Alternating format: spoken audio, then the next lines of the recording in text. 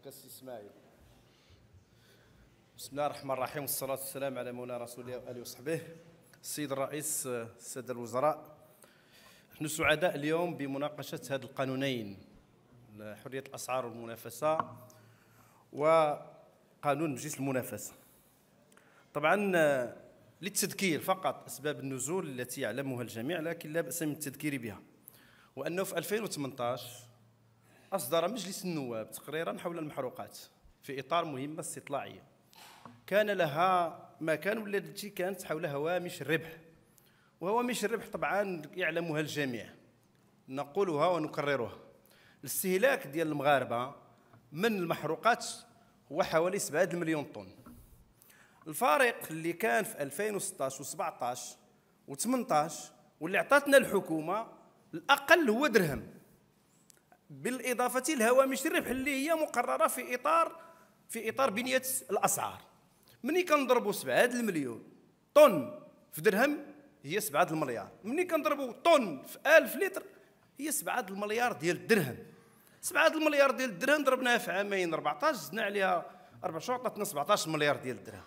هذا الحراك حرك الحكومة طلبت مجلس المنافسه الرأي ديالو حول التسقيف جاوبته بعد تنصب. ما كانش مجلس المنافسة وكانت التوصية ديال اللجنة من أجل تنصيب هذا مجلس المنافسة وتنصب نصبوا جلاله الملك في نوفمبر 2018 طلبت منه الحكومة بداية 2019 الرأي ديالو حول التسقيف. دار الرأي ديالو في أسبوع أو أسبوعين قال هذا الشيء اللي كديري ماشي معقول وهذاك الشيء دار كيران كنخصو واحد العدد ديال الإجراءات إلى غير ذلك.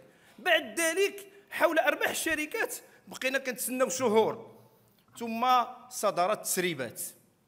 هاد التسريبات كتقول بأنه كاين تواطؤ واختلفوا حول شحال غيديروا لهم ديال ديال الجزاء؟ واش خمسة؟ واش ستة؟ واش ثمانية واش 10% واش على ثلاثة الشركات الأولى؟ واش على عليهم كاملين؟ وعلاقته كذلك بال chiffre d'affaires واش consolidé واش ديال برا؟ واش لداخل؟ واش الشركة واش ال holding هذا هو الاختلاف. هذو هما التسريبات. هذو هما التقارير التي رفعت إلى الديوان الملكي. بعد ذلك تدخل جلاله الملك ودار لجنة. يعني اللي آه، أوكل إليها دراسة الجانب. خليني نقول نكون واضح. ماشي اللي كيتثبت في الموضوع تثبت في الشكل هو اللي جانا اليوم. إذا التوجيهات ديال جلاله الملك اللي جات في هذا القانون. ولذلك نحن ما لم نتردد ما خديناش الوقت. واخا الرئيس ديال اللجنة المالية مع الحكومة حاولوا هذا الشيء دوزوه بالسرعة حنا ما عندنا حتى مشكل في السرعة لأننا حنا بغينا يخدم هذا مجلس المنافسه لأن هذا الرئيس الله يغفر له شنو قال؟ قال لك أودي فيما يتعلق بالمحروقات هذاك التقرير اللي عنده اللي فيه جميع الأعضاء 12 غير هو اللي مبدل. قال لك لن يبت فيه حتى يتغير القانون.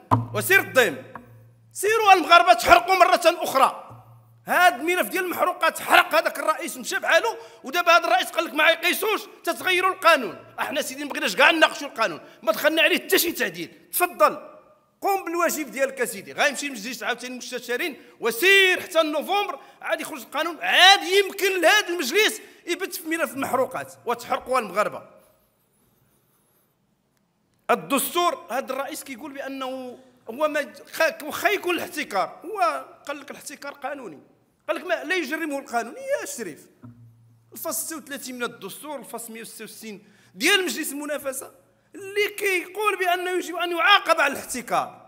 وغير قلنا دابا ملي يجي ملي جات توجيهات جلاله الملك وجانا التقرير فيه وضعية الرئيس سرية المداولات تضارب مصالح التجريح في الأعضاء إصدار مبادئ توجيهية العقوبات وهيئة التقرير ويقول لنا الرئيس براسو من اصدر قانون من اصدر الرأي ديالو حول الزيوت. شنو هي الوضعية ديالو؟ كمدير سابق لإحدى الشركات.